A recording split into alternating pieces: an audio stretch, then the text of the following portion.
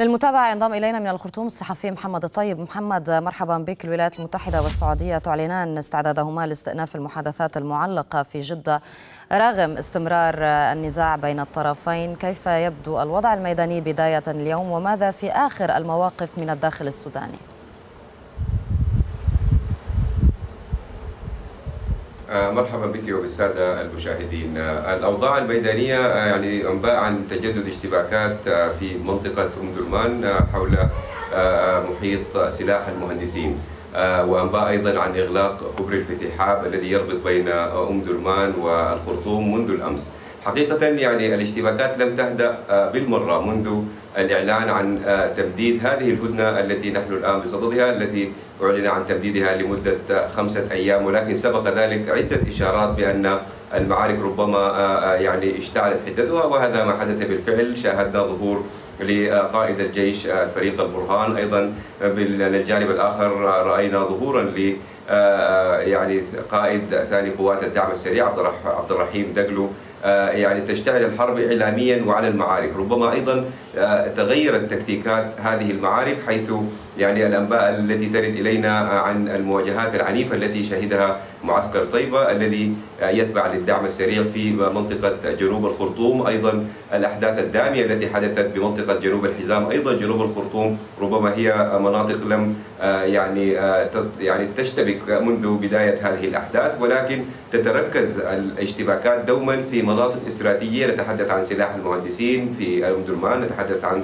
سلاح الإشارة، منطقة الحلفاية، محيط القصر الجمهوري، محيط المطار، كل هذه المناطق يعني تتجدد بها الاشتباكات دوما. ربما يعني عدم التزام الطرفين بالهدنة أعز مراقبون أن يعني تعليق المفاوضات بداية من الجيش السوداني ومن ثم الجانب الأمريكي والسعودي الذي يعني انسحب أيضا من هذه أو علق المفاوضات كان بسبب فشل آلية الرقابة التي تم الإعلان عنها يعني رقابة بعدة آليات منها الطيارات المسيرة وأيضا الأقمار الاصطناعية ربما فشلت هذه الآلية بتحديد من خرق الهدنة أولا. لذلك يعني رأينا هذه العقوبات التي يعني ظلت السياسة الأمريكية دوما تتبع سياسة العصا والجزرة. ربما احترقت الجزرة بأصوات هذه البنادق والآن تم الضرب بالعصا. بحسب مراقبين أيضا أن هذه العقوبات ربما لن تؤثر على الجيش السوداني باعتبار أن منظومة الصناعات الدفاعية قد أنشئت في التسعينات.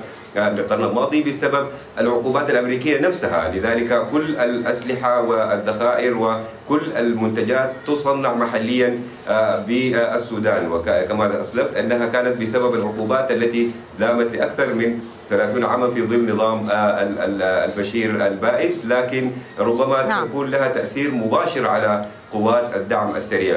أيضا هذه الانتهاكات يعني ظلت نرصدها باستمرار أطلق ناشطون واسم الدعم السريع يستبيح بيوتنا في إشارة لتوثيق انتهاكات الدعم السريع الذي لم ينسحب لم ينسحب من المرافق المدنية، المرافق الصحية، بيوت المواطنين، ربما هذا هو السبب الحقيقي لتعليق هذه الهدنة لأن بالأصل هذه الهدنة قد صممت لإنسياب المساعدات الإنسانية نعم. التي حتى الآن لم ترد لنا أي أنباء عن بدء توزيعها في الخرطوم، نعم.